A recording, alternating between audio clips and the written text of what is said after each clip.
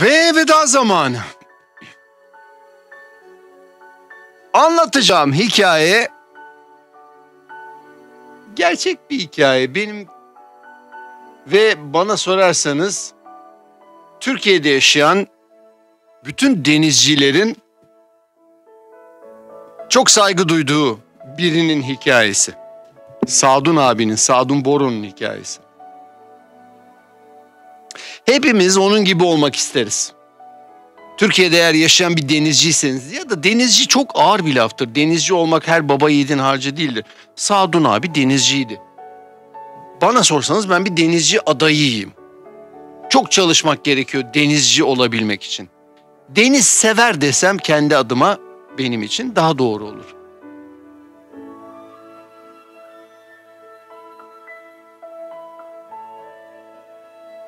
Tekrar genç olsanız neyi değiştirmek isterdiniz?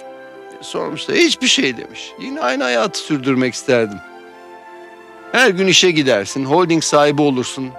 Ama e, iki gazete ilanıyla gidiverirsin.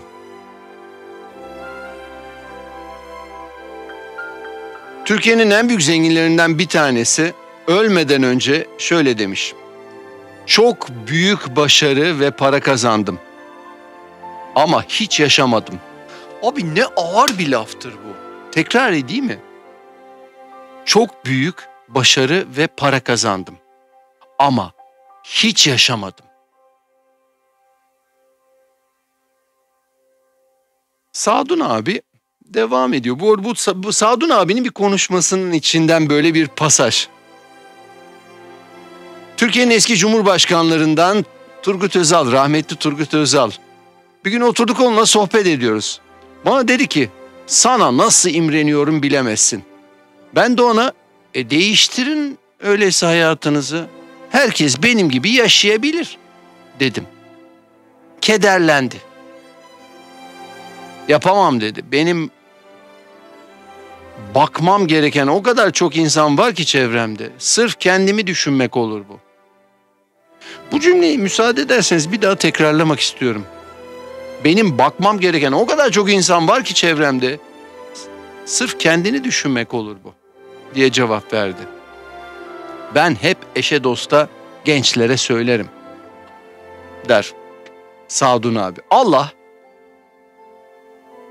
herkese beş duyu vermiş. Bir de altıncı duyu var ki o da doğadan zevk almak. Bu altıncıyı ben uydurdum. Ama orada Allah baba biraz hasis davranmış. Yukarıdan azıcık sertmiş. Kimin üstüne geldiyse onlar yaşar. Ondan ötesi evden işe, işten eve. Karınca gibi yaşar. Ömürde öyle geçer gider.